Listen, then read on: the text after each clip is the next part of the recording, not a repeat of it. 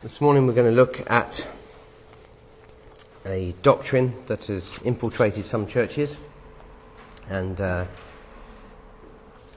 I wouldn't say it's, I say mainstream. It's not as big, and it's not as big as say Calvinism, the errors of Calvinism, but it certainly is an error that I want to address, and. Um, it'll be good for us because there's a, it's, it's quite a fine line between truth and error, and um, it's a dangerous doctrine, and you've got to be careful not to slip into this. Occasionally, you know, you can um, get something wrong and follow the crowd. So we're going to look at the error of hyper dispensationalism. Hyper dispensationalism. It's a big word, isn't it? And anything hyper is over, beyond, above, excessive above normal. Now, I am a dispensationalist. I believe that God deals with different people at different times in His purpose and His plans. And um, if, you're, if you believe in an Old Testament and New Testament, uh, you're a dispensationalist. Two, two, you know, two covenants there, two gospels there. Um, so, really, everyone who's a Christian should be. But um, we're going to look at this in some depth this morning. But first, I want to take you to um, a few scriptures. Hebrews 5, Hebrews chapter 5, verse 12 to 14.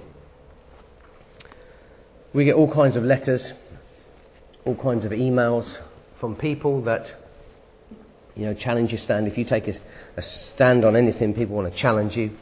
And um, a lot of time wasters we get. And uh, even this morning, Sunday morning, we've had two emails even this morning of uh, one guy who's up in arms because he's a Pentecostal and he wants to challenge us that we don't believe in signs and wonders for today and all this kind of stuff. Here we have uh, verse 12 For when for the time ye ought to be teachers, ye have need that one teach you again, which be the first principles of the oracles of God, and are become such as have need of milk and not of strong meat. For everyone that useth milk is unskilful in the word of righteousness, for he is a babe. But strong meat belongeth to them that are of full age, even those who by reason of use have their senses exercised to discern both good and evil. That's Hebrews 5 12 to 14. That's a great passage. That sets the scene that there are many baby Christians out there who don't study the scriptures, don't rightly divide them, and they'll be pulled from pillar to post. They are unskillful in the word of God. And we're trying to learn um, the scriptures, we're trying to learn the doctrines and asking God to lead and guide us. And um, we submit to this book. This is our final authority. 1 Corinthians 3, verse 2 says, I have fed you with milk in fact, start verse 1. And I, brethren, could not speak unto you as unto spiritual. A lot of these you can't, these Christians. But as unto carnal, even as unto babes in Christ. I have fed you with milk and not with meat, for hitherto you were not able to bear it, neither yet now are ye able. You can't reason with the Calvinists or these hyper dispensationalists. They're baby Christians, they're shallow students of the word, sadly to say. And again, just on this introduction, look at 2 Peter 1.20. You've got to be careful the way you read this book, 2 Peter 1.20, knowing this first, that no prophecy of the Scripture is of any private interpretation. It's not to be interpreted privately. You don't have your own little sect, your own little slant on things. It's got to be in context. Catholics make lots of private interpretations, hence why they build such a massive empire. All the cults take the scripture, their, their favourite scripture to build an empire on, as a private interpretation. Two more. 2 Peter 2, how do we understand the scriptures? Sorry, 2 Timothy 2, 2 Timothy 2, verse 15. The key to understanding the scripture. Study to show thyself approved unto God, a workman that needeth not to be ashamed, rightly dividing the word of truth. You've got to rightly divide that book. If you don't, you'll mess up on your doctrine all the way through. And the last one, 1 Corinthians 2, 1 Corinthians 2, verse 13. Which things also we speak, not in the words which man's wisdom teacheth, but which the Holy Ghost teacheth, comparing spiritual things with spiritual. This is a spiritual book. We compare Scripture with Scripture. That's how we understand the Bible. So we rightly, or try to, rightly divide this book. But the hyper dispensationalist wrongly divides the book. Their proof text is Ephesians 3, Ephesians chapter 3.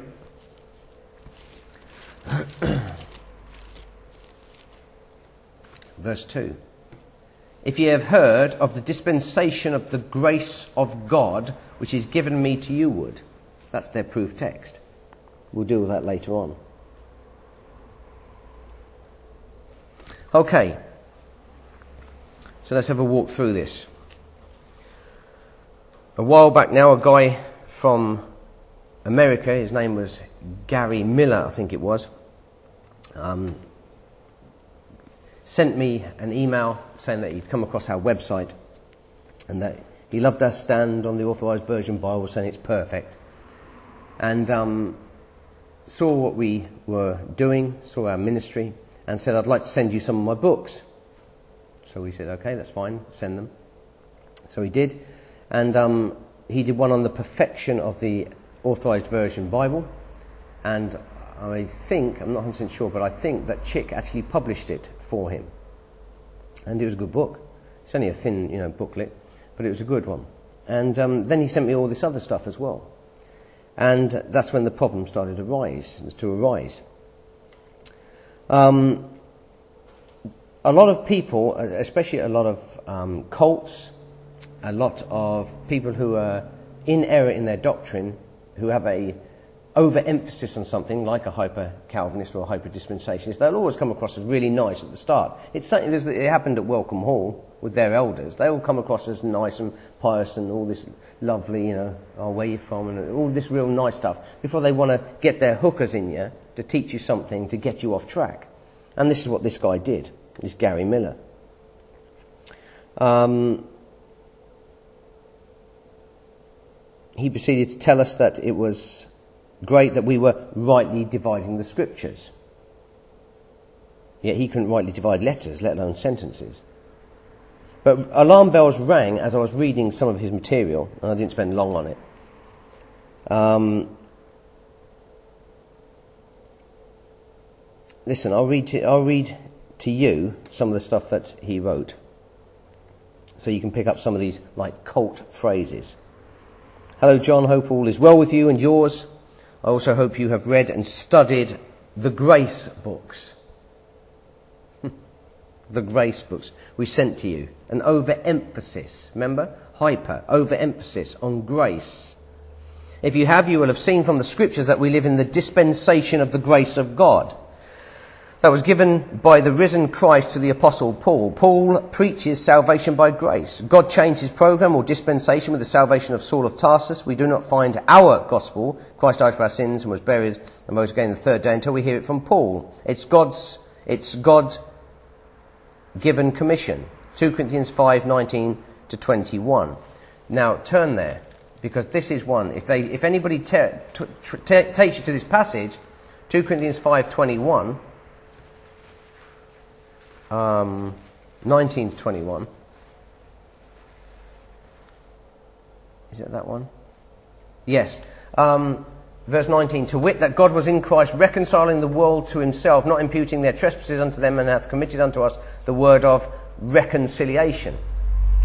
A hyper dispensationalist will always take you to that passage over 1 Corinthians 15, the gospel message.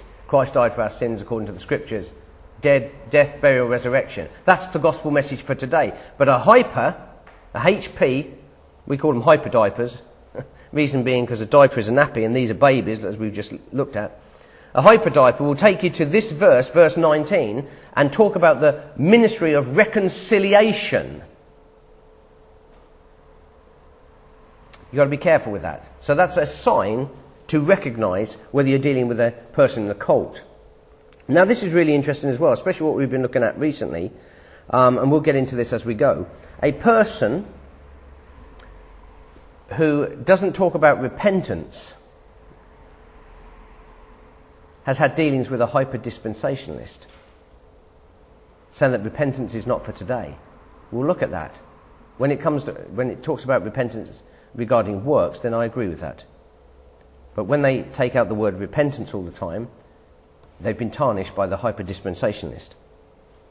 So it's going to be quite an in depth study. We're going to go, be jumping all around the place. Maybe not your cup of tea, but it needs to be said, it needs to be put on CD, and it needs to be sent out as well to these cults and this cult. So, what else have we got before we get into this? Oh, yeah, they reject water baptism. We'll get into that also. In fact, we'll start with that. Um, number one, they reject water baptism. As already stated, the hyperdipers get hung up on non baptism. No water baptism for this dispensation. Yet, what do the scriptures teach? Well, if you go to Acts chapter 16, Acts chapter 16,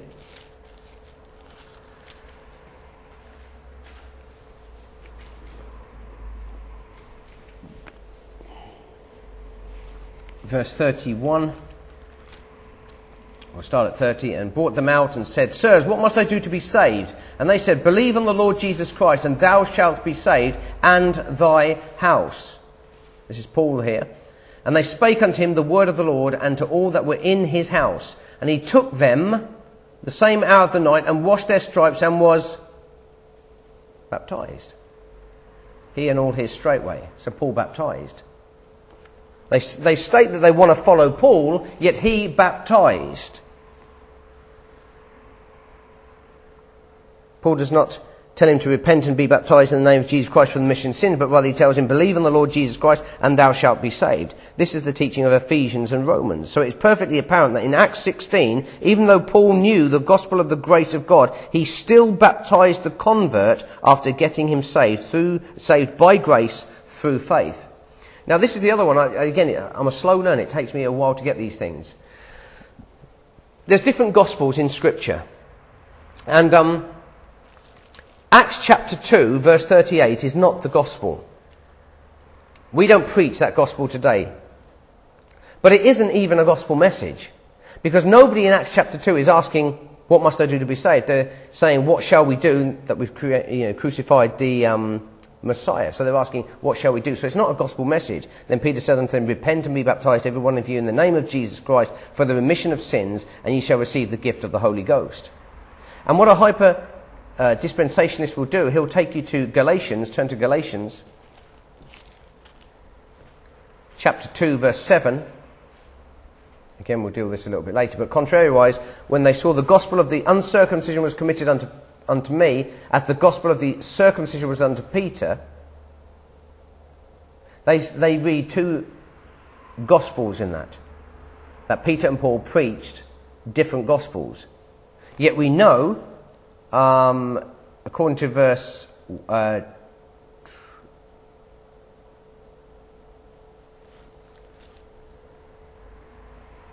chapter 1, Galatians chapter 1, if any man preach any other gospel, where is it? Yeah, um, there, verse 8. But though we or an angel from heaven preach any other gospel unto you than that which we have preached unto you, let him be accursed. So if Peter is preaching a different gospel to Paul, he's accursed. So he obviously didn't. Paul had to shed light on things. Things were changing, of course. That's why you don't build your, you don't build your doctrine on the book of Acts because it's a transition period. So there's four gospels in the New Testament. Acts 2:38 is not one of them. Now I fell into this error before, yeah? Uh, previously when I first started looking at this. So the four the four different gospels in the New Testament are as follows. Number 1, the gospel of the kingdom. That's number 1. The gospel of the kingdom, that's a gospel. Paul's gospel, the death, burial and resurrection. Paul's gospel. Then there is Galatians 1, verse 8, another gospel. So that's another gospel. That's the third one. And then in Revelation, and we'll come to these again in a bit, um, you've got the everlasting gospel, which isn't even preached by a human being. It's preached by an angel. That's the four main gospels the kingdom, Paul's gospel, another gospel, and the everlasting. We realize it's faith and works in the Old Testament, it goes back to faith and works in the tribulation. But now it's the gospel of the grace of God, the blood atonement, the death, burial, and resurrection of the Lord Jesus Christ. So, the hyperdispensation gets hung up on that you shouldn't baptize. Baptism is not for today.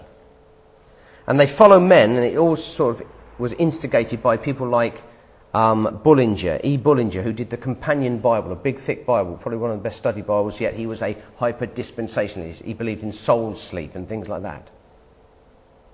So Bullinger is one, J.C. O'Hair is another, a guy called Baker is another, and the big one is Cornelius Stam.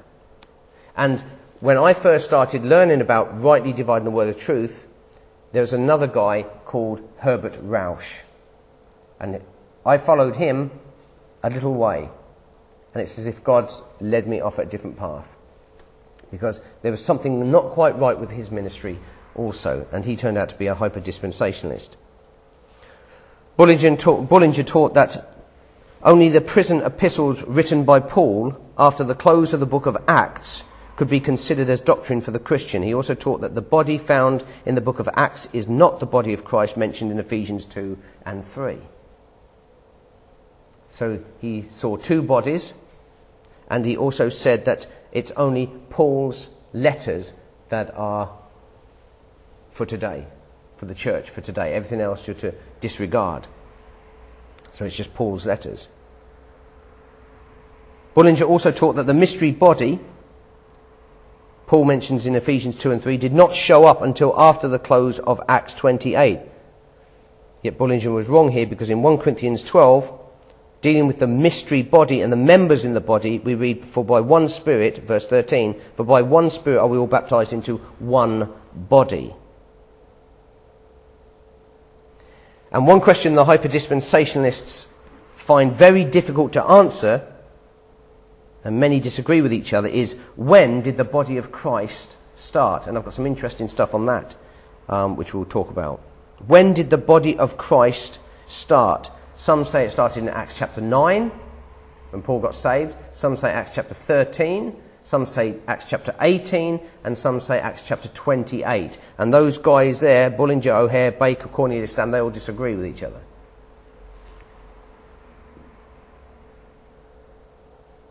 There's a very interesting. Um, they say it started with Paul, and they're so hung up on Paul when did the body of Christ start? Yet if you turn to Romans 16,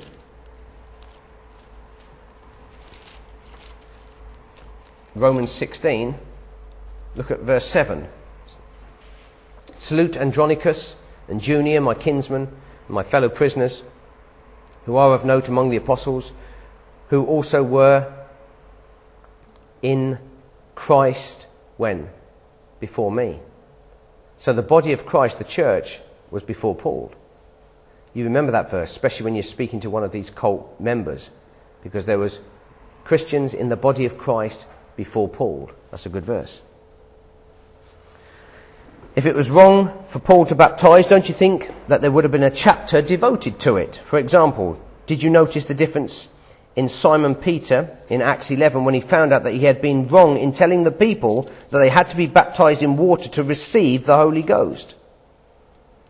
Why, when Peter rehearses the matter, he says in Acts 11, verse 15 to 18, And as I began to speak, the Holy Ghost fell on them, as on us at the beginning.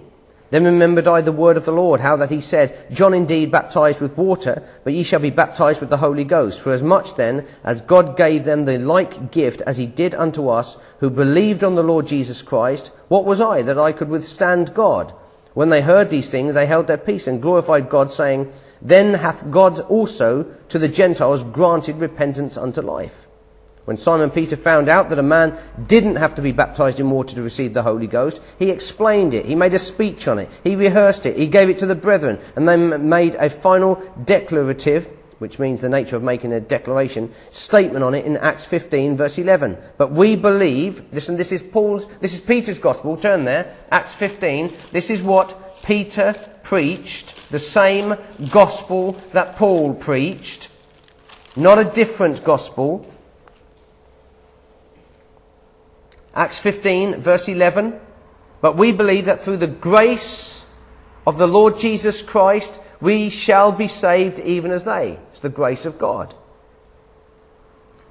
Paul would have done the same if he found out that it was wrong to baptize his converts in water. When they quote, For Christ sent me not to baptize but to preach the gospel, which is one of their favorite texts, the hyperdispensationalist either quotes half a verse or they quote it out of context, which is what we said at the start.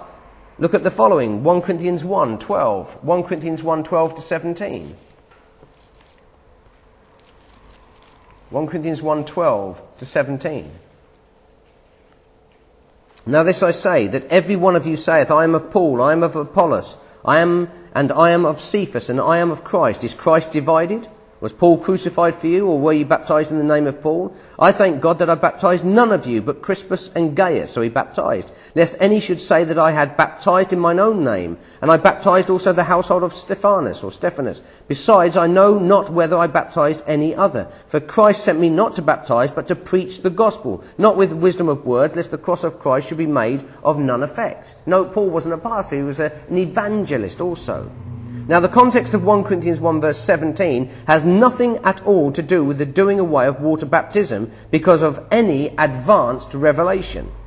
The context of verses 14 to 17 is plainly dealing with arguments of people who baptized them, and Paul was thanking God that he hadn't been responsible for that lest, for that, lest they claim him against the rest. Look at verse 13.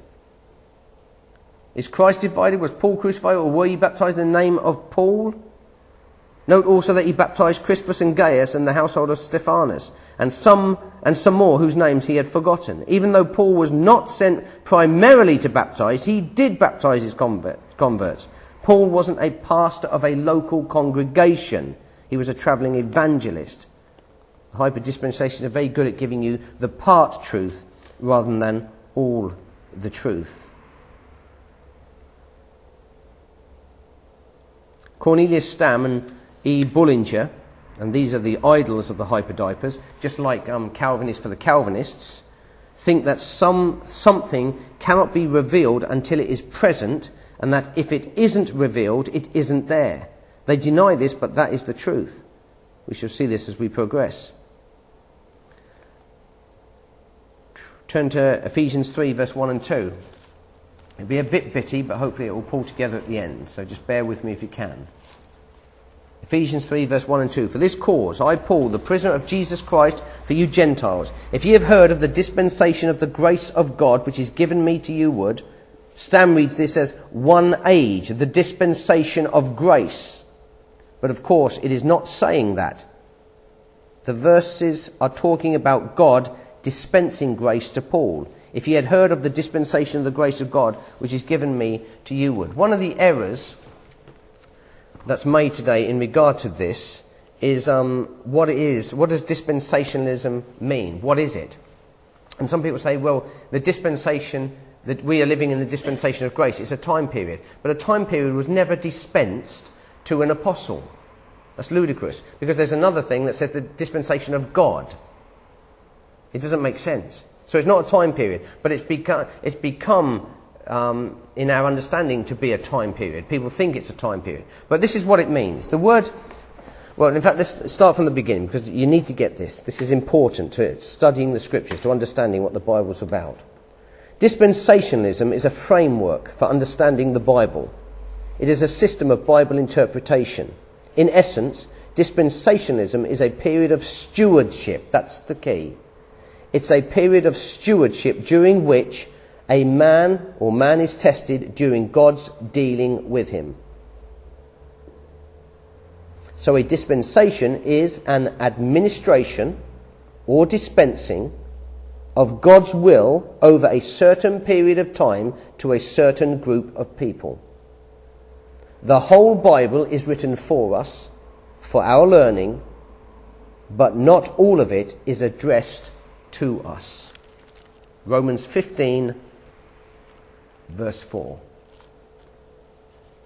For whatsoever things were written aforetime were written for our learning, that we through patience and comfort of the Scriptures might have hope. That's from Genesis to Malachi. That's from Genesis to Revelation, really, but when Paul is writing, that's the Old Testament.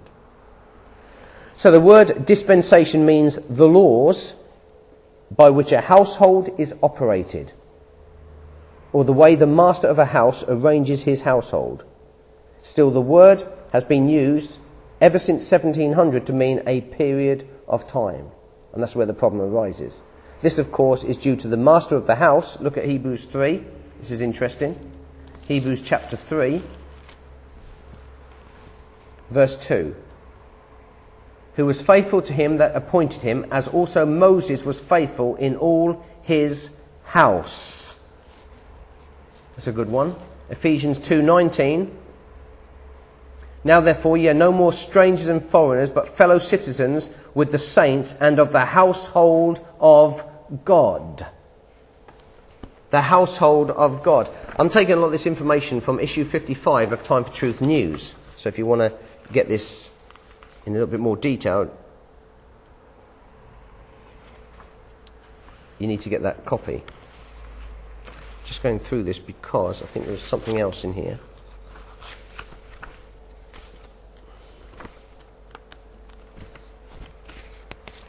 Hold on one memento.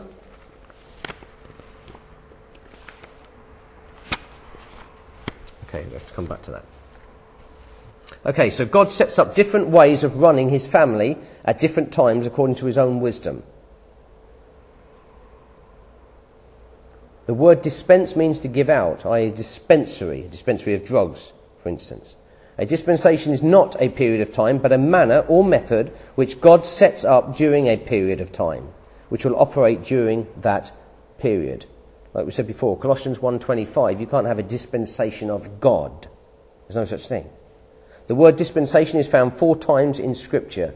1 Corinthians 9.17, Ephesians 1.10, Ephesians 3.2 and Colossians 1.25. Dispensationalism can also be termed stewardship or administration. And every verse of Scripture has three applications past, historical, present, devotional or spiritual application, and future, doctrinal or prophetic application. So that's how we understand the scriptures. It's, people keep saying, well, it's your interpretation. No, we're looking at scripture in, in its context, rightly dividing it, comparing spiritual things with spiritual, comparing scripture with scripture. What does the scripture actually say? Not what you think it means. What does it actually say? So, getting back to this, back to,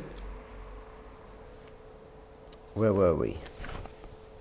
Ephesians 3, turn there again, Ephesians 3. We'll read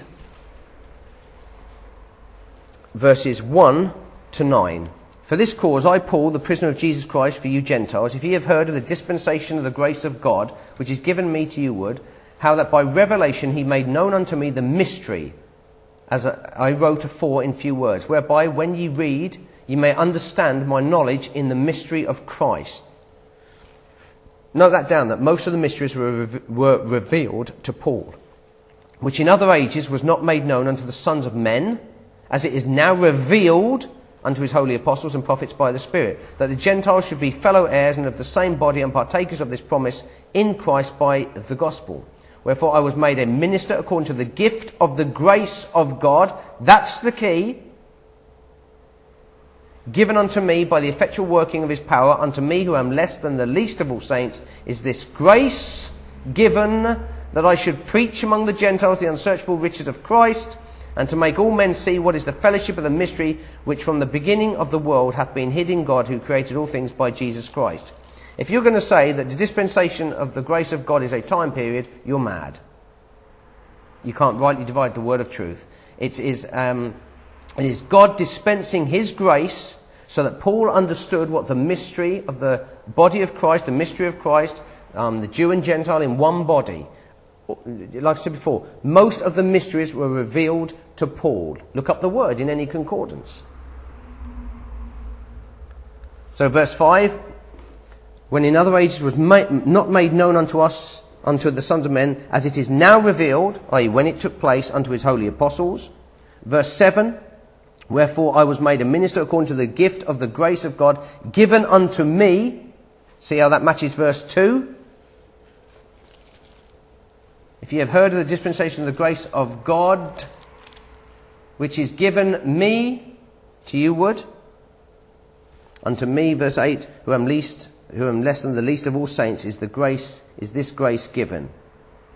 There is that given again. Three times you are told that the dispensation was the handing out of grace to Paul so he could understand. It had nothing to do with any period of time. Ephesians 3:8 Unto me who am, the, who am less than the least of all saints is this grace given that I should preach among the Gentiles the unsearchable riches of Christ and to make all men see what is the fellowship of the mystery which from the beginning of the world hath been hid in God the trouble with this reading is that somebody is confusing when the thing took place with the time it was revealed.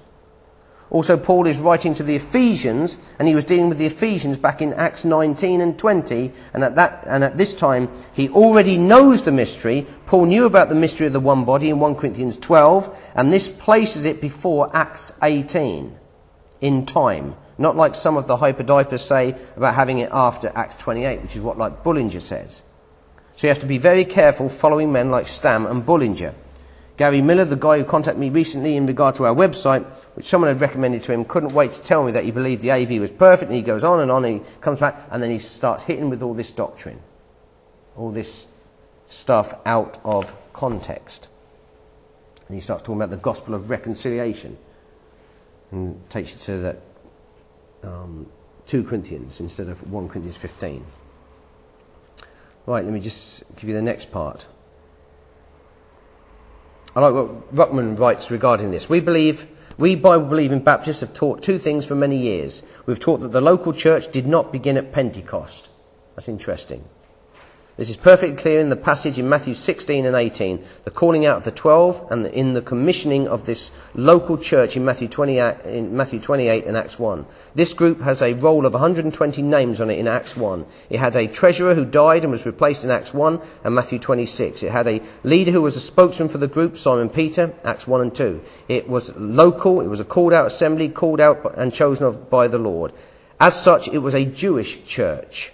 It certainly had Jews and Gentiles in it after Pentecost. This local church became a living organism and its members were placed in Christ by a baptism of the Holy Spirit. When Paul says in Ephesians 4 verse 4 and 5, there is one body and one spirit even as, even as ye are called in one hope of your calling, one Lord, one faith, one baptism. He can only refer to the same Holy Spirit and the same baptism that put the Pentecostal disciples, Cornelius' family, the Apostle Paul himself, and the Ephesians into the body of Christ. 1 Corinthians 12 verse 13, For by one Spirit we are all baptized into one body, whether we be Jews or Gentiles, whether we be bond or free, and have been all made to drink into one Spirit. I'm jumping ahead now, but I found this very interesting. Turn to John 17 the Lord's Prayer. Peter, James, and John, John 17, um, Jesus praying to his Father in verse 21. Um, verse 20 Neither pray I for these alone, but for them also which shall believe on me through their word, that they all may be one, as thou, Father, art in me, and I in thee, that they also may be one in us, that the world may believe that thou hast sent me, and the glory which thou gavest me I have given them, that they may be one even as we are one. Listen carefully, verse 23. I in them. Did you get that? That's good, isn't it? Christ in us, you're in Christ. I in them, and thou in me, that they may be perfect in one, and that the world may know that thou hast sent me and hast loved them as thou hast loved me. Very interesting passage that. If we get time, we'll come back to it. This is why it's so dangerous to build your doctrine in the book of Acts like the Pentecostals do. In the book of Acts, one group of people have to be baptized to receive the Holy Ghost. Acts 2, another group receive the Holy Ghost before they are baptized. Acts 10, another man is born again before he is baptized in water. Acts 9, Another group believe and are saved and are baptized without receiving the Holy Ghost. Acts 8. Another group of people get saved and get baptized and don't speak in tongues until hands are laid on them. Acts 19. There is one baptism, one body, and one spirit. Acts is a very dangerous book to build your doctrine on. So here comes a question that the hyper dispensationalists dread. Were Peter, James, and John in the body of Christ? If so, when did this take place? Look at John 17, verse 6. I have manifested thy name unto the men which thou gavest me out of the world. There's Peter, James, and John.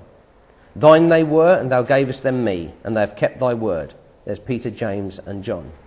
Now they have known that all things whatsoever thou hast given me are of thee. For I have given them unto the words, given them I have given unto them the words which thou gavest me, and they have received them, and they have surely and, and have known surely that I came out from thee, and they have believed that thou didst send me. I pray for them, I pray not for the world, but for them which thou hast given me, for they are thine. There's Peter, James, and John. And all mine are thine, and thine are mine, and I am glorified in them. There's Peter, James, and John. And now I am no more in the world, but these are in the world, and I come to thee, Holy Father. Keep through thine own name those whom thou hast given me, that they may be one as we are. While I was with them in the world, I kept them in thy name. Those that thou gavest me I have kept, and none of them is lost, but the son of perdition, that the scripture might be fulfilled. And now come I to thee, and these things I speak in the world, that they might have my joy fulfilled in themselves. I have given them thy word and the world hath hated them because they are not of the world, even as I am not of the world. I pray not that thou shouldest take them out of the world, but thou shouldest keep them from the evil. They are not of the world, even as I am not of the world. Sanctify them through thy truth, thy word is truth. As thou hast sent me into the world, even so have I also sent them into the world. There's Peter, James, and John, all the way through. And for their sakes I sanctify myself, that they may that they also might be sanctified through the truth. Neither pray I for these alone, but for them which shall believe on me through their word, that they all may be one, as thou, Father, art in me and I in thee, that they also may be one in us, that the world may believe that thou hast sent me. Do you get that? There is one baptism, one body, one spirit. And the glory which thou gavest me I have given them, that they may be one, even as we are one. I in them and thou in me, that they may be made perfect in one, and that the world may know that thou hast sent me and hast loved them as thou hast loved me. So are Peter, James, and John in Christ? Are they in his body? According to that passage, they are.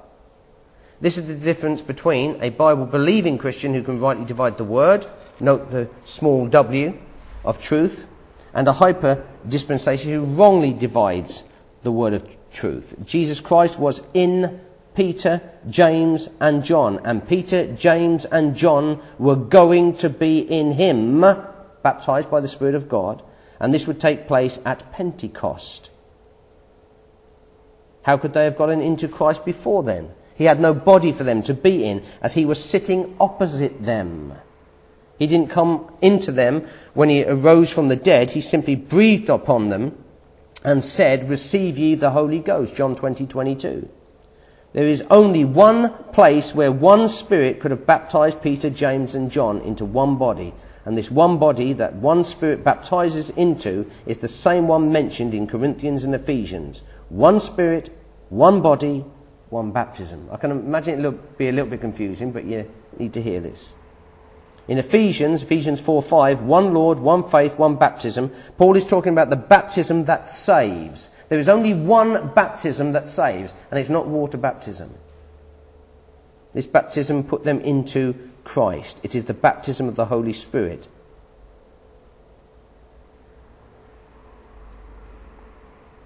You see, God used multiple means and multiple methods in manifesting things throughout the book of Acts with the same spirit and the same baptism. Bible believers understand that Stamites, Bullingerites, and all the hyper dispensationalists don't, yet they profess to be able to rightly divide the word of truth. If Peter, James, and John were not in Jesus Christ, you're not either, and neither is Paul. John 17, verse 23 I in them, and thou in me, that they may be made perfect in one. I think that's good. Turn to Ephesians 2 19 and 20. Now, therefore, ye are no more strangers and foreigners, but fellow citizens with the saints and the household of God. There's that stewardship again. And are built upon the foundation of the apostles and prophets, Jesus Christ himself being the chief cornerstone. There are prophets in the body of Christ. And he gave some apostles, and some prophets, and some evangelists and some pastors and teachers for the perfecting of the saints, for the work of the ministry, for the edifying of the body of Christ. Therefore, the apostles were in the body of Christ. And so were the prophets.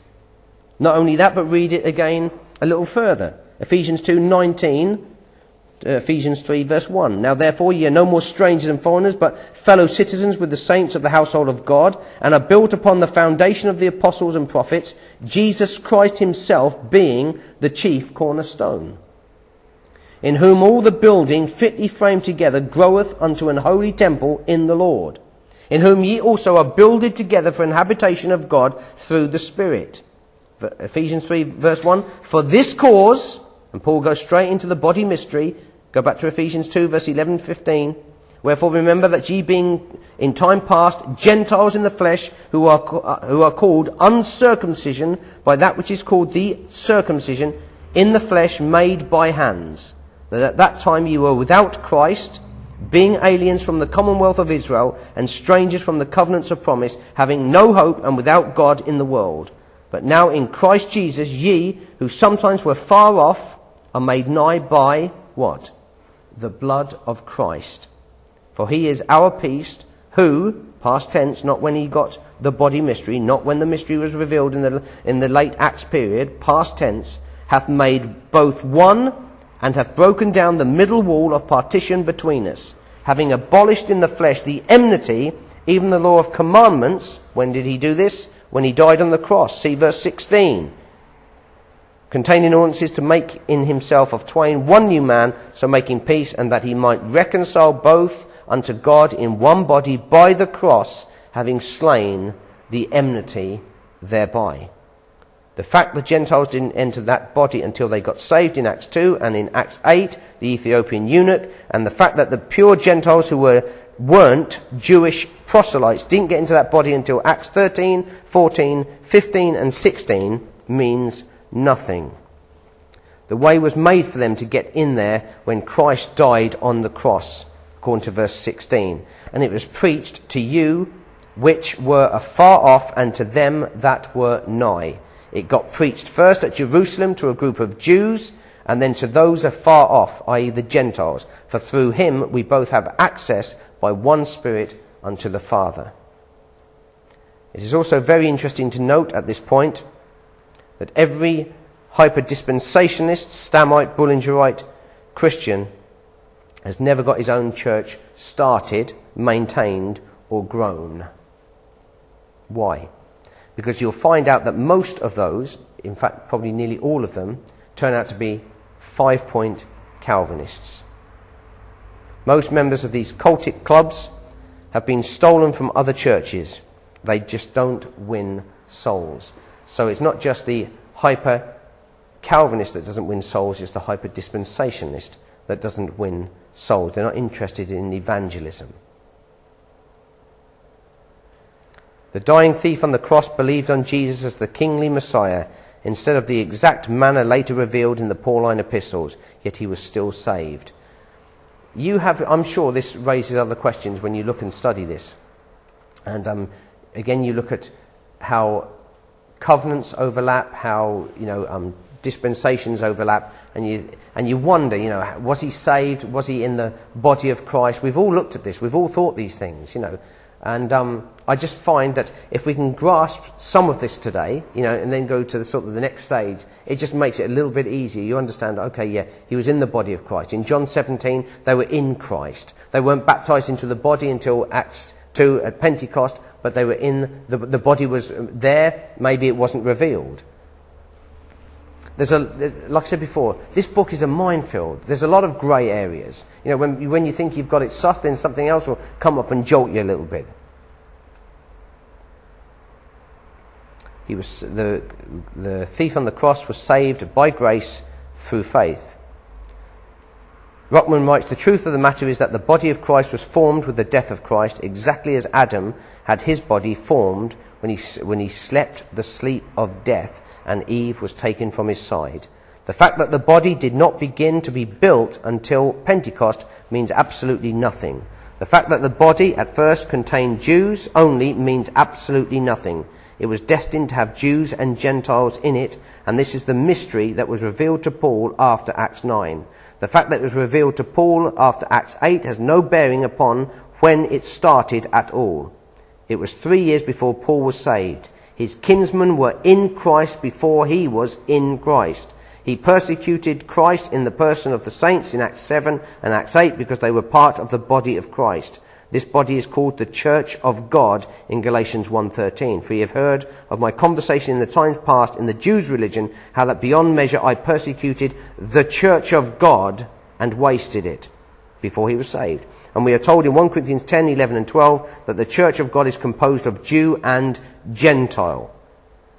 For by one Spirit are we all baptized into one body, whether we be Jews or Gentiles, whether we be bond or free, and have been all made to drink into that one Spirit.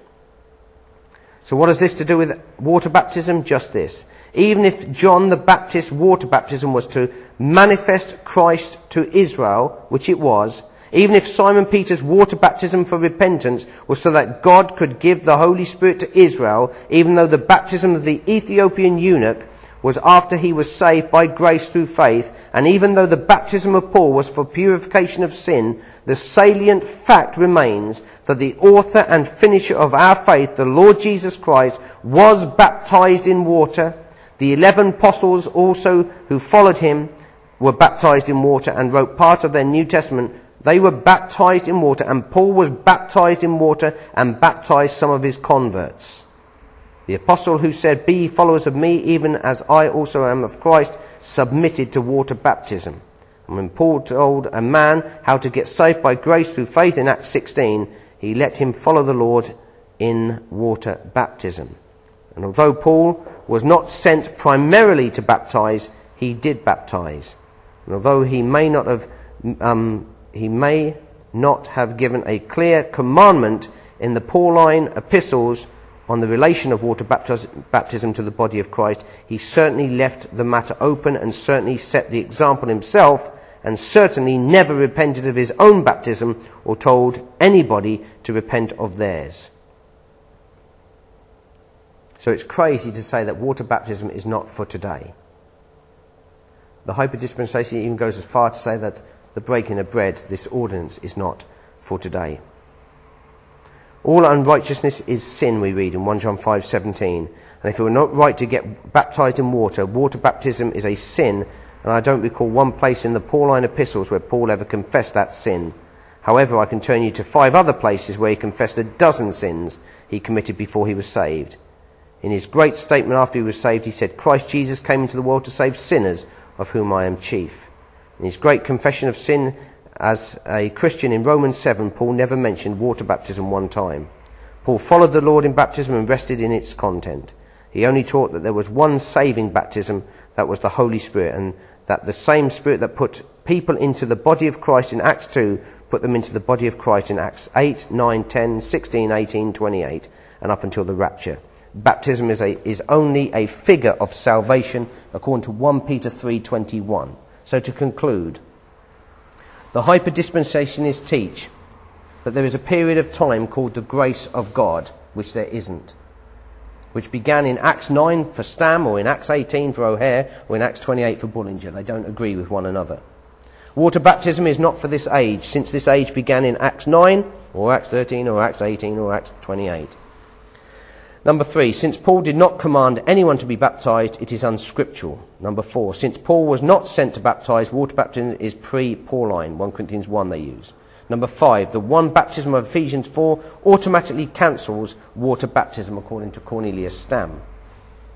The Bible rebuke of the hyper dispensationalists is this the dispensation of Ephesians 3, verse 2, was the grace which God gave or dispensed to Paul to preach. Ephesians 3 7, 1 Corinthians 3 10, Colossians 1 29. Grace was dispensed to him. The grace of God is found in every period of time, every dispensation, shall we call it. Genesis 6 8, Exodus 33, verse 13. So God dispensed grace to Paul so that he could understand the mystery of the one body of Jew and Gentile in the church. The church was before, um, existed before Paul was saved. The age of the one body and the church of the one body began in Matthew chapter 27. Look at Ephesians 2, verse 12 and 16. With the 12 apostles in Christ. Romans 16:7 before Paul was saved, and John 17:21 and 23, which we looked at. Paul was baptized in water, Acts 9:18, and baptized some of his converts, Acts 16:33, 18:8, 1 Corinthians 1:13, 16, even though he was an evangelist. Nearly through. I know it's been a long one. It's hard hitting. You've got to have one of these every so often. Hyperdispensationalists take Ephesians 4, verse 4 and 5 out of context and pretend that it's talking about water baptism being replaced by spirit baptism. The context of Ephesians 4, verse 4 to 6 is the unity of the body of Christ, not disunity, disunity caused by carnal Christians who say, I am of Christ. The same baptism that put Paul into Christ put Gentile believers into Christ. The same baptism that put the 12 into Christ, Acts 1 5, put the Roman converts into Christ, Romans 6, verse 1 to 3, and 16, verse 7. And by the way, there are seven different baptisms in Scripture, not just two. And lastly, the hyper diapers. False teachings also include that Peter and Paul preached different gospels. We said before, if they did, Peter was accursed, according to Galatians 1, verse 8 and 9. God taught Peter the gospel in Acts 10, verse 43, which he publicly acknowledges in Acts 15, verse 11, while all are practicing water baptism. Number two, repentance should not be preached in this age. That's what they say. That's another thing you've got to watch out for. I'm telling you this now. Paul preached it constantly in Acts 20, verse 21, and asked exactly what, John, what John the Baptist asked for when he preached it in Acts 26, 20. Paul did this after writing Romans 16, verse 25 and 26. So if you get hung up on repentance, you've tarnished by the hyper-diapers, the hyper-dispensationalist. But like I said before, if you're looking at repentance in regard to works, then I totally agree. It's nothing to do with it. You don't, you're not turning from your sin, doing a work before you get saved. But you are turning from something to Christ in the sense of you're leaving your old life, turn to Christ, but you're just believing. That's the gospel. Believe in the Lord Jesus Christ, thou shalt be saved. You don't have to do anything. It's a gift of God. You receive the gift or you reject it. Number three, the body, the church, the body could not have been at Pentecost because no one mentioned it. That's what they teach. Neither did any mention the complete abolition of the law, the Levitical or the fulfilling of the law. Acts 13, 38 to 40.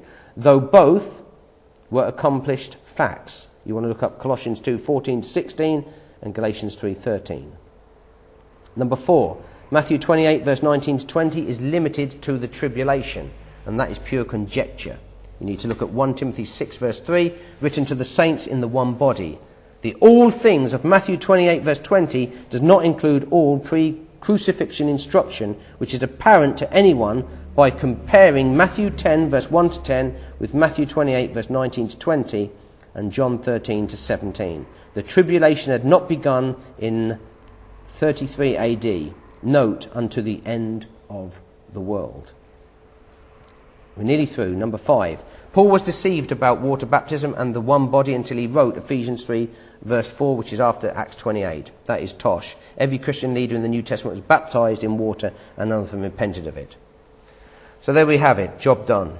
Don't get sucked into this cult. The hyperdispensationalist is it's a cult. Gary Miller is in a cult. He's leading his own little church and his own little cult over there in the States, and he is wrongly dividing the word of truth.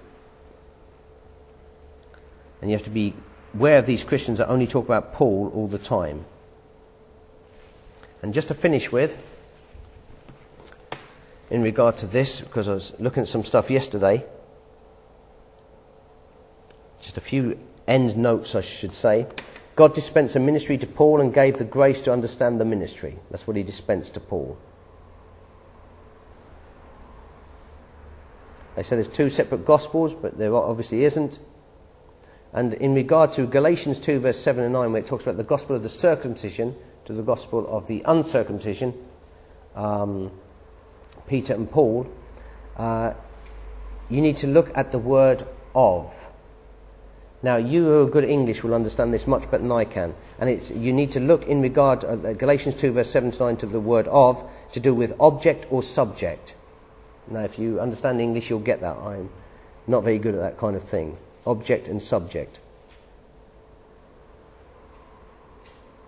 And Peter preached the same gospel as Paul did in Acts 15, verse 11. You also want to look at 1 Peter 1, verse 3 to 5 and verse 9. So there's no such thing as a period of time called grace, the dispensation of grace. It's more than that. Another interesting one was only the Pauline epistles are for this dispensation, yet in 1 Timothy 3 you have bishops and deacons, and the hyper dispensations do not have bishops and deacons in their churches. You had it in there, in 1 Timothy 3, one of Paul's letters.